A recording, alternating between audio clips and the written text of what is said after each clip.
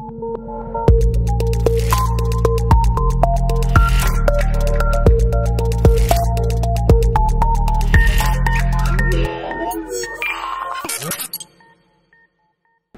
and welcome to another Spectrum Geeks video. My name is Dale and in today's video I'm going to talk to you about home storage batteries. Specifically the fact that many installers say that you can't have two different brands of battery and you definitely can't have an AC and a DC battery working together.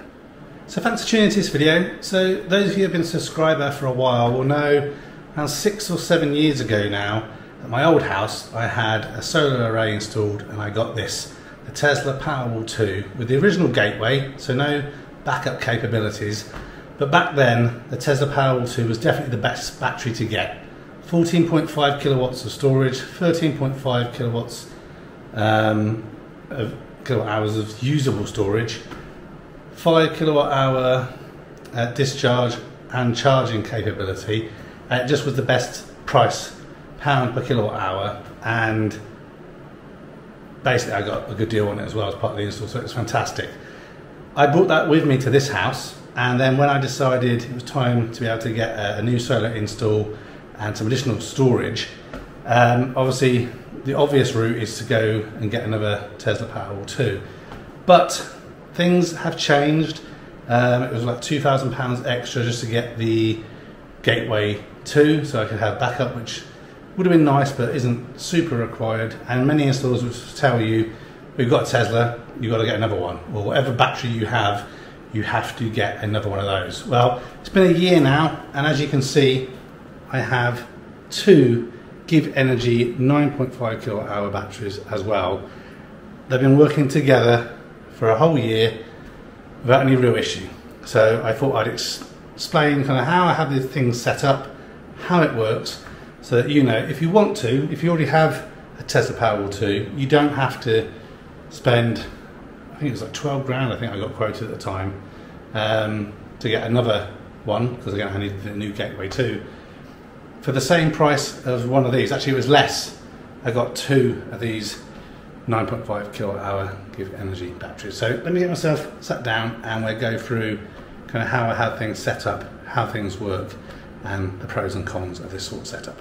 So this here is my little plant room. I thought I'd just explain how things are connected up so it makes sense as we go through things. So we'll ignore the GivEnergy stuff for a minute. We'll just talk specifically about the Tesla Powerwall 2. So up here is the old original gateway. So this is what talks to the Powerwall. This is then connected in over here. So this is the isolator switch for the Tesla Powerwall 2 and then I have a separate consumer unit up here for all the stuff in this little plant room. So that then can provide power to the house, assuming there is a grid connection. If there's a power cut with that um, original gateway, no grid isolation, no islanding of the house, so it won't provide the power anymore. And then what I've obviously had with the new solar install at this house I have this, the GivEnergy 5 kilowatt hour um, hybrid inverter that has its own um, DC isolation on there but then additional isolation here. Uh, AC isolation I should say was down there. Um, DC isolators for two strings. Then I also have an EPS circuit which can be isolated here and that connects back into another separate um, consumer unit which provides power for the sockets and the lighting in this new extension in the house and it's EPS so it's not um, UPS as much as that sticker says on there so basically what happens is if there's a power outage it, it happens very quickly but those circuits um, for the lighting and the um, sockets can have backup power either directly from the solar, if solar generation is happening, or from the two times 9.5 kilowatt hour batteries that we have here with the GivEnergy setup. And it works really, really well. Uh, it wasn't actually enabled by the installer when they did it, so I get that, that sorted out. That's kind of the setup of kind of how things work in isolation. So obviously Tesla Powerwall 2, AC battery, and um, the GivEnergy batteries, DC batteries, connected into this um, inverter. So when I first had things installed, um, it kind of worked how I thought it would, and, I'll just explain how I thought it was going to work. So the reason why having two different types of batteries connected up is not optimal is because to some extent they are going to fight each other and basically one of them for, for one reason or another will take the position as being the primary battery so I wasn't sure if that would be the Tesla or the GivEnergy batteries but basically something would be discharging and that would then inadvertently charge um, something else so I knew that there would be some kind of, of issue there. Um, and I assumed that um, probably the GivEnergy batteries would be um, the primary. And again, we just have this little bit of loss overall, and it wouldn't be a problem. And in general, that's kind of how things worked. But I did realise I had some configuration issues, and this is why I'm making this video. So if you go this route, you can hopefully have things working properly. So let me tell you how I had things set up again, it's been a year now. Um, I need to go for another winter, I think, to make sure these actual settings are, are working best. So originally how I had this set up is that um, off-peak, both batteries should charge um, off-peak for seven pence per kilowatt hour. Uh, if you're looking to get a good deal actually um, for off-peak electricity and you meet the requirements, use the link below to join Octopus Energy. You and I will get £50 credit to our bills. So, yeah, so both batteries filling up at 7 pence per kilowatt um, overnight. And then during the day, obviously, they would then take it in turn to do their discharging. Um, and that's actually another bonus of having two different battery types is I can discharge at 5 kilowatts from the Powerwall and 3.6 from the GivEnergy. So what that means is there can be 9.6 kilowatts of draw, or 9.6 kilowatt hours of draw from my house, and both batteries can work together to provide that. Whereas obviously, if I only had one or the other, I'd be limited to the 5 or limited to the 3.6. So I get the best of both worlds there. Um, so, how things were working is with the Gateway 1, you basically have no configuration options at all with the Tesla Powerwall 2. So what I mean by that is you can tell it when you want it to charge and discharge, but you can't tell it to do things at certain times, like very easily anyway. You can't say um, don't charge from solar and other things. I've, I've messed around with all sorts of stuff to try and get it to work with certain certain ways, and even disconnecting the CT clamp from the old solar and everything. But basically, the way things work now is this.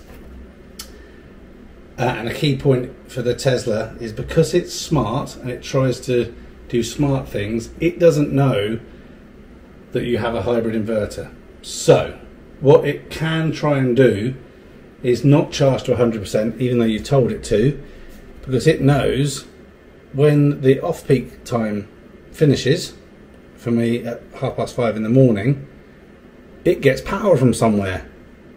Solar, it thinks, maybe, which obviously is coming from the hybrid inverter with the batteries discharging then from the GivEnergy batteries into the Powerwall. Now that's kind of what I expected would happen, but not expecting the Powerwall to only charge to like 50% because it knows at half past five in the morning there's 3.6 kilowatts coming from somewhere so it can charge it. So obviously then what would happen is around, uh, what is it, six and a half ish kilowatts, kilowatt hours of energy would come out of the GivEnergy batteries into the Tesla, get that to 100% within um, about two hours. Then my GivEnergy batteries are 50% full, but the power is 100%.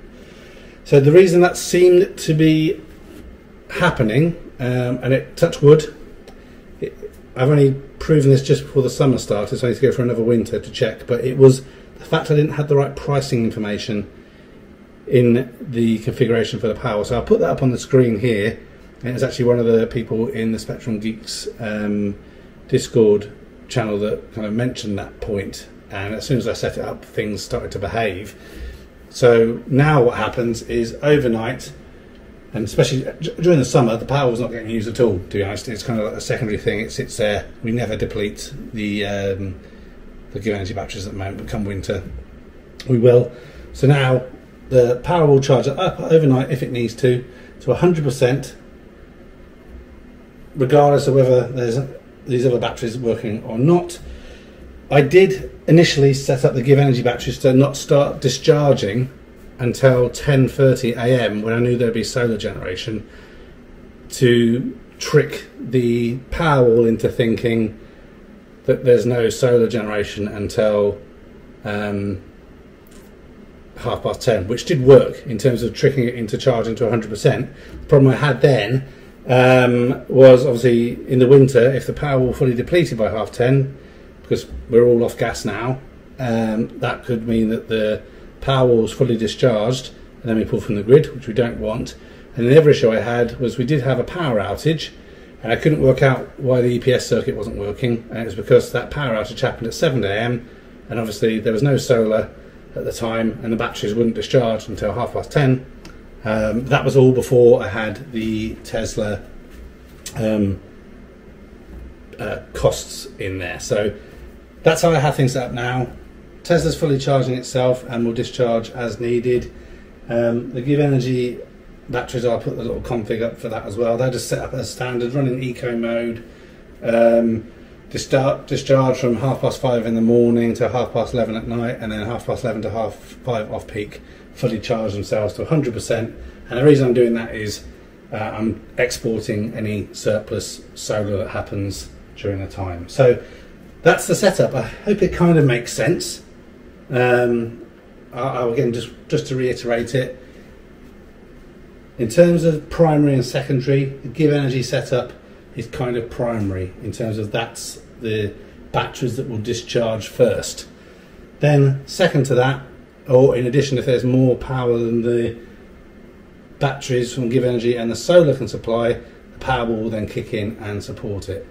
In terms of charging from solar, what will happen is if um, there's any surplus solar that isn't being exported, it will charge the power up first because obviously that's essentially doing a grid pull as far as the uh, GivEnergy battery or GivEnergy inverter is concerned, and then after that, the um, GivEnergy batteries will charge up. So that's a setup. It works really, really well. I'm really happy with kind of how things are set up. Yes, if you had all just GivEnergy batteries, it would probably work better. Yes, if you had just powers, it might work better and it's easier to kind of understand what's happening. But for the cost, no regrets. And I'm actually thinking I've got, when this room is finished and these doors are out the way, there's enough room for another 9.5 kilowatt hour battery and I'm going to put that in there as well. So the only issue that you have if you're into data uh, which I kind of am, um, it's it's hard to see and get good data in your battery setup in, in its entirety because obviously when the GivEnergy says it um, put a certain amount of energy to your batteries, it's only the GivEnergy batteries. So then what went to the grid or came from the grid to the house isn't just house, it's house and the Powerwall. So it kind of screws up um, the data a little bit. But again, I'll do a couple of overlays if it makes sense to kind of just show you what, what's kind of happening. Um, the only thing I have noticed, like now in the summer, let me just move the camera around here, if it's showing, is sometimes for some reason the Powerwall uh, kind of goes into some, some, sort of extended standby. It's quite odd, not quite sure um, why it does it to be honest, but everything's still um, it's fine. It's still under warranty, so if there is any issues, and again, I guess talking about warranty, again, no issues because these things out there. They're separate to each other, right? So there's no kind of conflict uh, of, of, of, problem. I think just generally, a lot of the solar installers kind of don't think through how things might be wired up and, and set up. But I can assure you that things work. So I think I've gibbered on for long enough. If you've got any questions or comments about how things are set up, please leave them in the comment section below and I'll try and answer them. But yeah, one year now, a few teething problems to start with, but now these two batteries work absolutely perfectly together. Hope you've enjoyed the video, hope it was helpful. If I'm lucky, I'll see you in the next one. Consider subscribing if you haven't done already. Please like this video, share it with others. Until next time, goodbye for now.